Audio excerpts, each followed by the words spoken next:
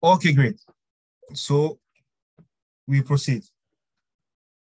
So hello everyone, and welcome to this webinar that I will be hosting, uh, and uh, we, that will be about uh, an introduction to trap key interlocking. Uh, for those who don't know me, I'm Mr. Lilian Mombana. I work for the Sentric Safety Group, which is a company that manufactures supply and sell uh, trap key. So it's actually a good thing that I'm the one presenting and hosting this type of, uh, of topic. Yeah. So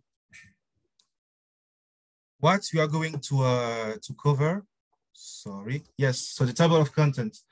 I'm going to start with a brief history of uh, trap key interlocks, where it, it's uh, all started. Uh, I'm going to present to you what they are, um, how it works.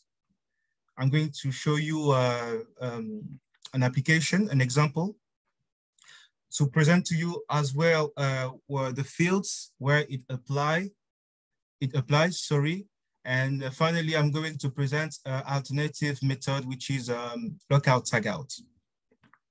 Okay, so I would like to start with that uh, uh, uh statement. So According to HSE experts and safety organizations, human errors represent around 80 to 90% of workplace accidents, which is quite a lot. So it means that at least four accidents out of five could be prevented, right? And when we know the dramatic consequences that some of these accidents uh, can have, it is really crucial to uh, find ways and means in order to prevent that to happen. Luckily for us, uh, some brilliant guys, mainly from the past century and the century um, uh, before, uh, thought of it. And um, the French engineer, um, Paul, Mr. Paul Bouret, originally created in 1893 the concept of trap key interlocks. After that, he founded a company uh, that uh, represents one of the company uh, that belongs in the Sentric Safety uh, Group. And few decades later, Mr. James Harry Castell that we are, we are seeing here also um, introduced that concept uh, in the frame of the electrification of London. And few years after that, uh, as well, we saw Mr. Kirk in the US uh, coming up with the um, implementation of, of uh, trap keys interlocks in the frame of circuit breakers and switches. So those are the um, main figures, people that we know that came up with that brilliant uh, uh, idea of finding, uh, of um, inventing key interlocks and putting it in work in order to prevent all these accidents. So that's being noted. Uh, that being said, sorry, uh, we can now uh, focus on what the what is a trap key interlock. So according to the standards, so the standards that you see, that you see here, the ISO 19837, the one version from 2018, which is actually the standard that is ruling the principle and the designing of uh, Trapkey interlocks um, uh, system. So an interlock is a device or the definition is here, or a part of a trap key interlocking system which fulfills a function by either trapping or releasing a key in a given system. So on the on the top, we have um, an image that is summarizing uh, what I just said so that we understand it better. So we have uh, three elements. We have a switch. So let's imagine that we have like um, a, a, a, a main switch disconnector. So we have the actuator here, that is the switch represented. We have a bolt lock the item number two, and we have a key that's on that first uh, step is trapped into the bolt lock. So we imagine that the machine is on and the supply is connected. So what we are going to do, we are going to turn the machine off by operating the switch, which will going to allow us to be able to trap and lock the switch and then release the key. So that is how we operate um, uh, um, we operate a switch with an interlock. So this is the definition of an interlock and an interlock works in a trap key interlocking sequence, which is here. So a trap key interlocking sequence still, uh, uh, according to the, the standard, is a system that is fulfilling a safety function or part of a safety function and compromising of at least two trap key interlocking devices which work together through a transfer of key. So that's just to say that we have uh, three defined steps that you can see represented here that represent a system, right? We first want to isolate the power. Then we want to perform a key exchange. So let's imagine that the key was first trapped here.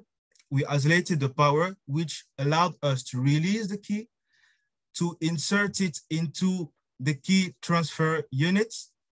That is then therefore allowing us to withdraw that secondary key that is here in order to insert it into the access, the access lock or the access control step, which is the third part.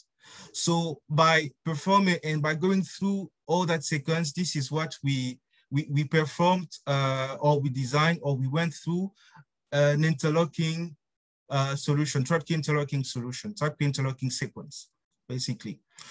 In order to, for you to have a better understanding of everything that I'm, I'm saying, I just want to present to you uh, an application, an example of how it works when uh, put in place uh, in, a, in a specific set. So let's imagine that we have a main switch. We are in a, in a workplace, in an industrial workplace, for example, with some different machines that are working. And we have our main switch that is here. So we are going to, to um, fix and install a main switch, uh, a, a lock, sorry, uh, that is going to um, mechanically block the main switch actuator. We are going to then be able to release the key by extracting the bolts. We are going to transfer that key onto a transfer unit. We are going to trap that key and be able to release two keys that are going to uh, be used on access locks. So here we have two examples we have one access lock for, uh, so here we have a belt uh, or a, a, pulley, and we have an inspection panel. So we are going to come and fix the lock on the inspection uh, panel so that if the main switch is not um, isolated, we cannot open that inspection panel. And then, of course, prevents to be uh, harmed by the belt inside. And another example let's imagine that on this one, we have uh, a bunch of machines. It could be robots, it could be uh, conveyors, it could be um, all different type of tips uh, mixers, but we have, we have like a whole room, a whole room that is secured by some fixed guards with a door. So on this case, we are going to use what we call a full body access. So it means that we are going to basically do go through the same steps it's just that we are going to have a pocket key that we are going to use when entering the hazardous area. And that will prevent uh, uh, uh, uh anyone to come and switch back the uh, and turn the actuator again so that we supply the energy um, again. So that will allow us as we perform and as we are in the hazardous, hazardous area to be safe because you have the, the key that is, let's say, um, uh, uh, blocking the sequence to go uh, back on the um, original uh, uh, points. Okay. So that being said, and as we set the frame for how the Trapkeys interlocks work, uh, um, and and what is what it what it's made of, we can talk about um, where it applies. We understand that the scope is actually very large, and that it can be applied to uh, different sectors. We have chosen to divide it into three categories. So the first one is the industry uh, category. So it's everything related to um, aggregates, for example, in mining, as long as the concrete sector. It could be food production. It could be also everything related to metals, uh, paper, waste recycling. It's basically uh, in all these industries, industries, you know, where we are going to uh, have uh, machines, machinery like uh, conveyors, uh, belts, mixers, hoists, pulleys, and everything. So um, that's where it's going to apply. Okay. The second uh, segment is going to be the energy segment. So what uh, we, we refer to when we talk about the energy segment is everything related to the generation of power. So I'm talking about plants. It could be a nuclear plants. It could be um, it could be a, a hydraulic plants. It could be also a renew, renewable plants such as um, solar panels plants or um, wind turbines. So it could be everything related to that from the power generation. And then we're also going to cover when we uh, uh, transfer the power that is generated, generated to the grid. So we are going to use transformers usually, usually to do that. So we are going to use interlocks in that frame in order to make sure that whenever you are, we are performing uh, a switching that we're doing in a, in a safe manner. And finally, it's also going to be the distribution of that energy that we first generated and, and, and that uh, and transferred into the grid to different supplies such as uh, hospitals, facilities uh, like malls, uh, uh, airports, all this kind of stuff, basically. So this is for the second segment. The last segment is going to be the transport segment. So this is mainly uh, going to be used to prevent unscheduled drives aways that um, um, makes a lot of accidents and it's also going to be used for uh, railway sector and specifically for depot um, equipment, such as the, the image that you see here on the, on the bottom right corner. Yeah.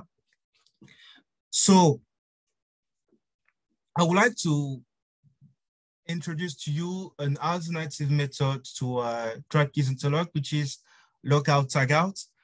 I wanted to talk about that because it is the most uh, spread concept uh, that is used when it comes to uh, performing safety procedures in industrial workplaces. It is the most spread uh, uh, uh, concept because it is simpler to use and to understand. And um, it is something that it's a concept that relies um, mainly on items such as padlocks and tags. So yes, uh, uh, lockout procedure is a safety procedure that is used to ensure that dangerous equipment is properly shut off and is not able to be started again. So it's actually the same thing as uh, TKIs. And also something that is very important to understand with that uh, uh, that that method, that concept is that on this one, you own your own safety. You are responsible of your own safety, as opposed to uh, when it comes to TKIs, where uh, um, the the equipments that are used are um, placed and fixed usually on the machines. So this is a different uh, approach that I'm um, I'm presenting to you here. And why I want to talk about that, because although uh, lockout tagout is a good and simpler way to ensure safety uh, in workplace, uh, workplace environments, it has some limits it has some limits that can totally be uh, addressed by Trappke's interlocks, right? So I just wanted to go through some of them so that you understand the difference and you understand how um, industrial workplaces that are using Loto could be enhanced with uh, TKIs. Okay, so the first step is that with uh, Loto procedures, um, keys can easily be duplicated uh, and are not always unique. And this is inducing a big uh, risk when it comes to um, um, the operation and uh, going through these procedures because we have to understand that when there is um, an identical key that is used and introduced in a follow in an existing procedure, it can of course cause shortcuts and then cause a risk to that procedure. Okay, and how TKI is addressing that is that key codes are always unique and are always tracked and managed by the company that issued them because they are the usually they are the main ones that can reproduce the key, the key code. Okay.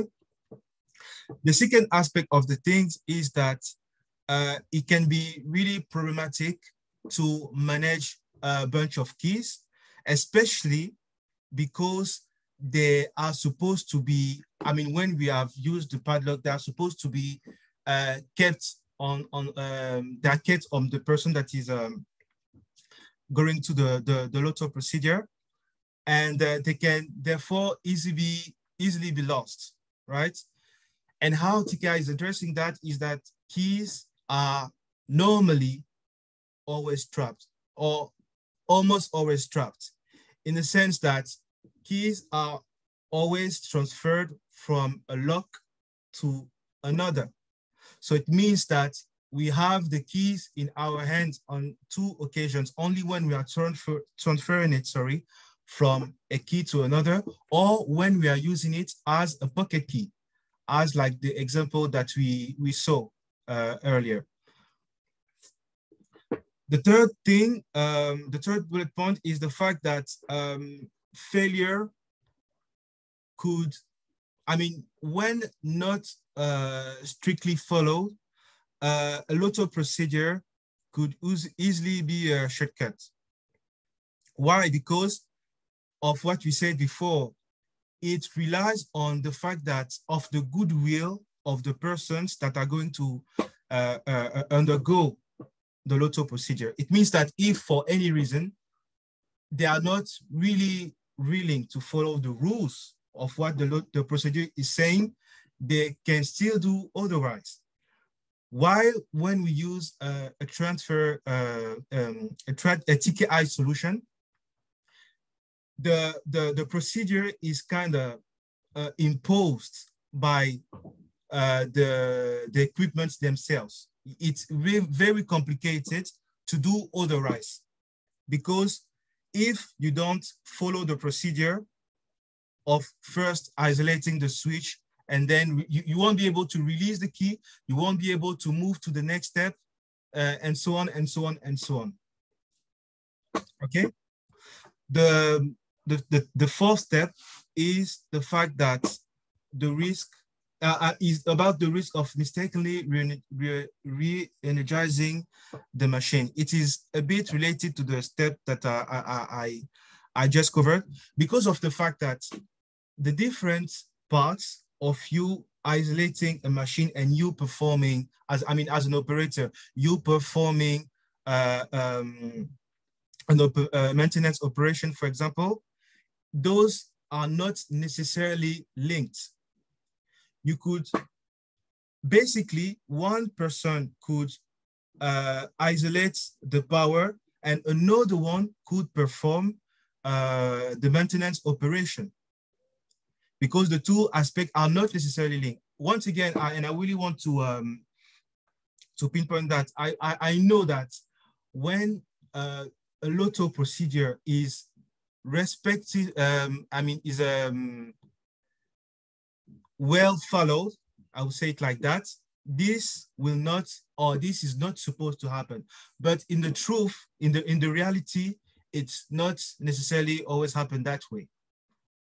And so, and that's why, that's what is going to induce human error. And on another aspect, the human error is going to be really mitigated uh, with the TrapKit interlocks, right? And the last part also that I want to talk about that is not necessarily uh, uh, covered by Loto is the management of residual energy. So let's say, for example, uh, that we have uh, a fan, we are operating or we want to perform an operation on a fan. So if we use only Loto equipment and Loto items and um, that want to access to such an equipment, we normally need to wait uh, uh, the fan to reach uh, the velocity uh, zero before accessing to it. And once again, because there is not necessarily a link between um, the part where we isolate the, the power and the part where we access to the hazardous area or the hazardous equipment, it means that we could directly go to the next step without performing, without making, without having all the conditions that would make sure that we are in a safe place to perform or to access to the fund. So how are the TKIs going to, how the TKIs are going to, uh, to cover that?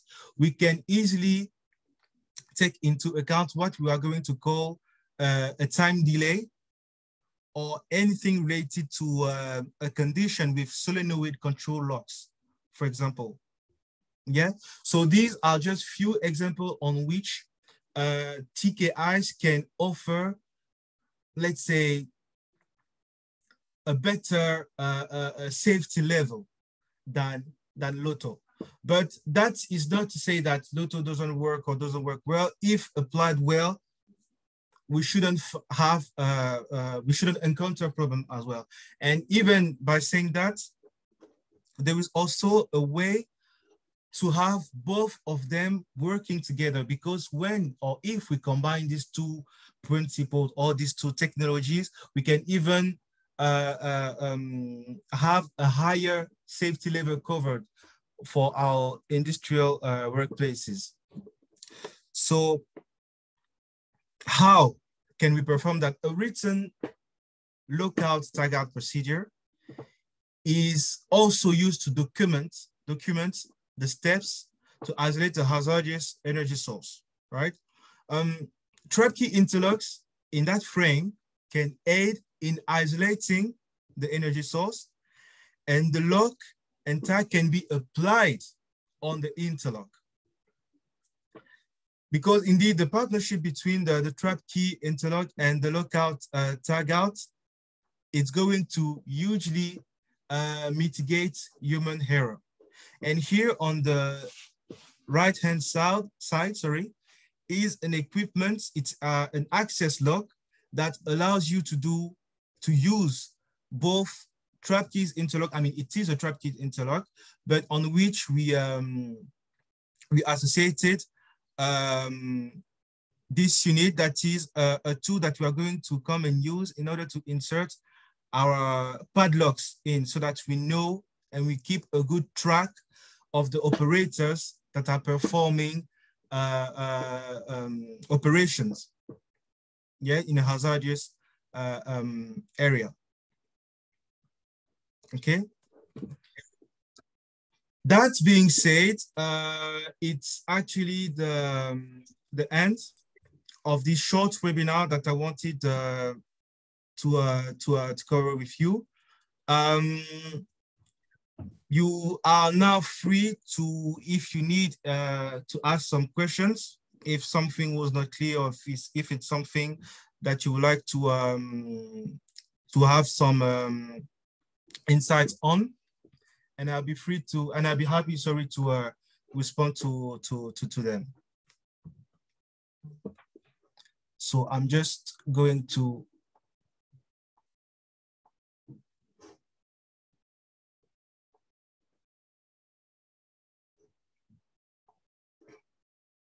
unmute.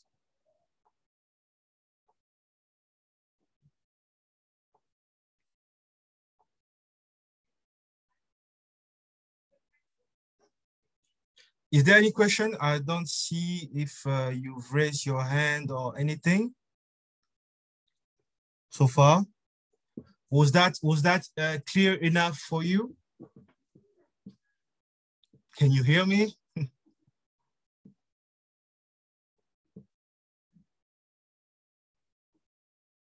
Okay, I have one.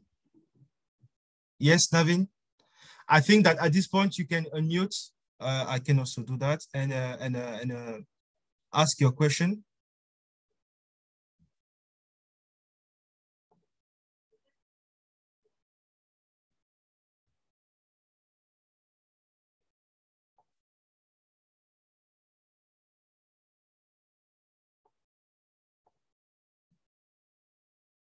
Unmute, uh, uh, Navin, can you talk? Normally you can you can unmute and talk.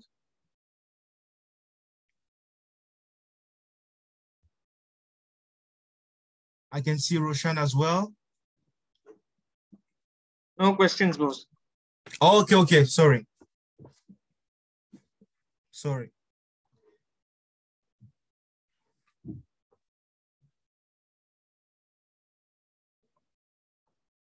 So I have a question from Mahipal Singh Rathore.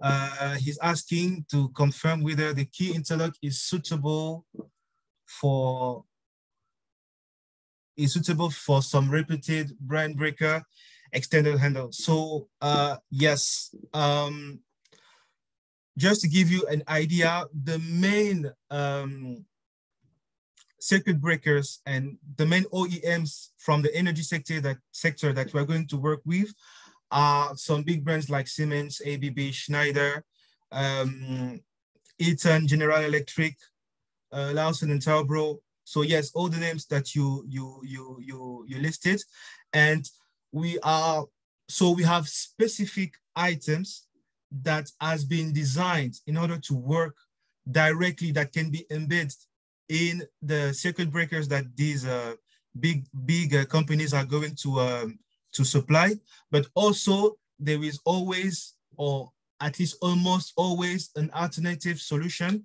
that consists of um, finding a way to fix it so that it still performs the, the, the, the job that we want that we wanted to perform. So yes, we can definitely adapt to the big brands that uh, we, uh, we listed, but not only.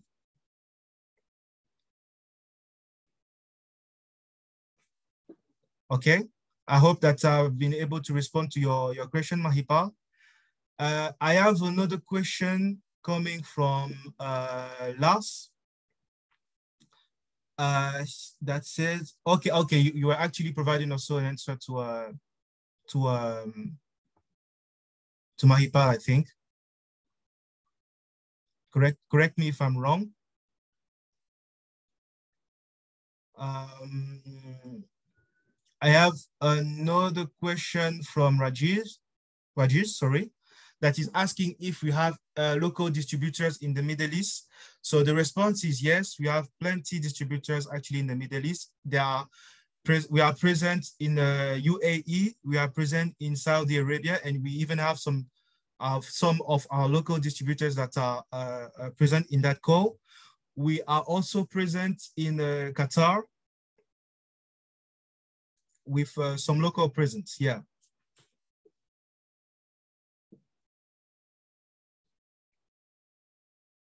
So maybe uh, Rajesh, if you want, if you have some specific uh, requests, you can, yes, I can share with you the details of the of the distributors. Okay, so I I'm just going to um, note it down and uh, we will uh, connect after the call.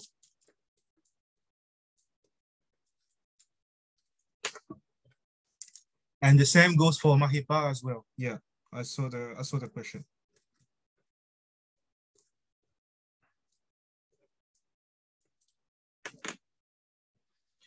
Okay, good. Uh, do we have other questions?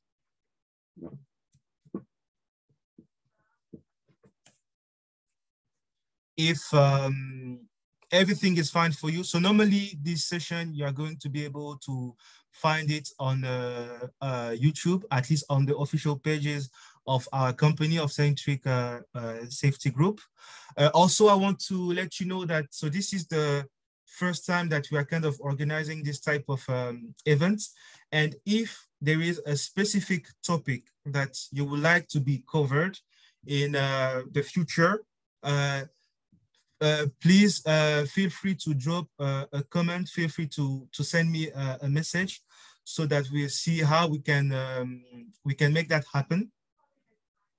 So that yes, uh, we, we, we, adapt and we, we, we respond to the, um, the questions that are really um, important and means that are really meaningful for you. Yeah. So do not hesitate to, to, to let me know. And um, we will try to make that happen and organize that.